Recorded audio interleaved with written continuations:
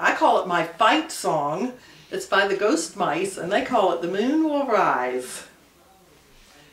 We must turn into monsters in the moonlight if we ever plan to fight against our many enemies. There's no load that they won't sink to, there's no tactic that they won't use. I'm afraid we're gonna have to get mean. We're gonna have to grow some claws and grow some teeth. The only silver bullet they use is that TV in your living room, and all you gotta do is pull the plug. But don't go to the store today, no don't you dare buy anything, instead go out and try and fall in love. We're gonna have to fall in love to win this one.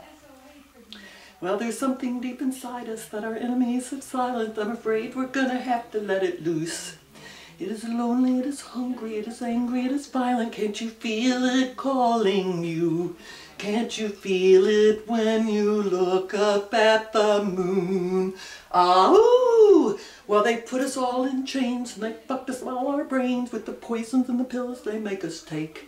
And they think they killed the monsters and they've taken all the magic, but they didn't know about our hiding place. There is something in our hearts that can't be tamed. It will get free one day and drive them back into their caves.